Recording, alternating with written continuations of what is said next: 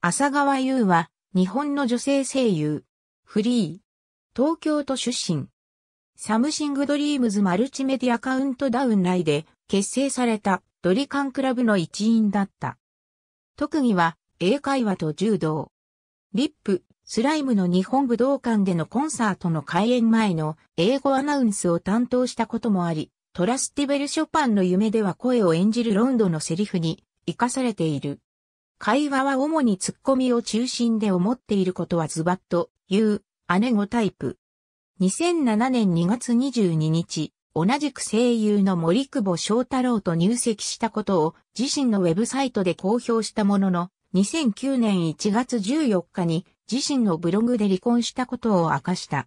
2014年10月1日、デビュー当時から所属していたアーツビジョンを離れ、フリーで活動することを公表した。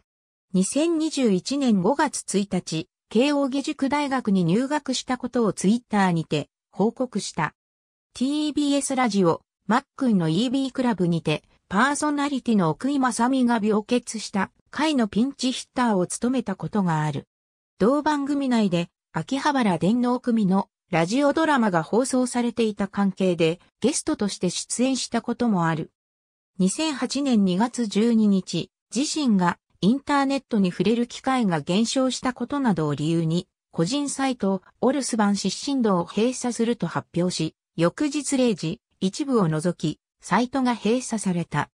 その際、閉鎖したトップページには、秋田とも書かれており、コメントにも自身の心情を表す部分に、伏せ字が使われている。